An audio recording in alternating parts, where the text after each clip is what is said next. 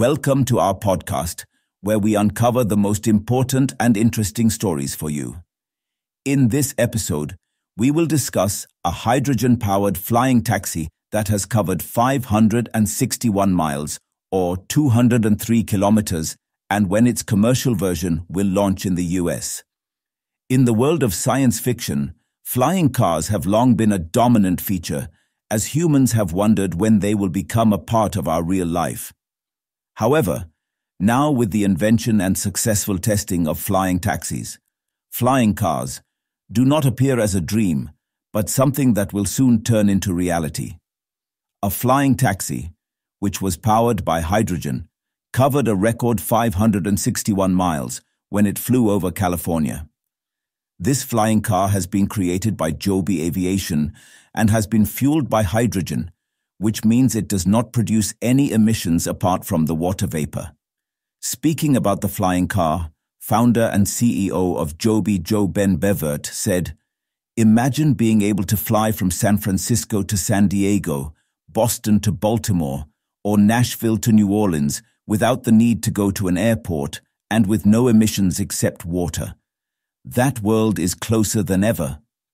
The US military had partly funded the air taxi which is powered by six propellers that gave it the ability to take off as well as land vertically like a helicopter. Once the taxi takes off, its propellers rotate from a vertical to a horizontal position that allows the taxi to fly ahead, similar to a traditional fixed-wing aircraft. The taxi's adaptable capacity allows it to accommodate four passengers at a speed of 200 miles per hour, or when flying in urban areas.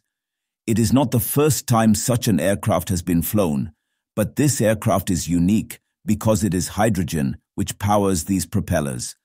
This spacecraft is an original all-electric aircraft's modified version, which has been designed by Joby and has covered 25,000 miles of test flights. Leaving out electric systems or fossil fuels, Joby chose a hydrogen electric power system for providing clean energy over longer flights. The batteries of the craft have been replaced with a fuel cell that can hold nearly 40 kg of liquid hydrogen that can be converted into heat, electricity, and water vapor in flight.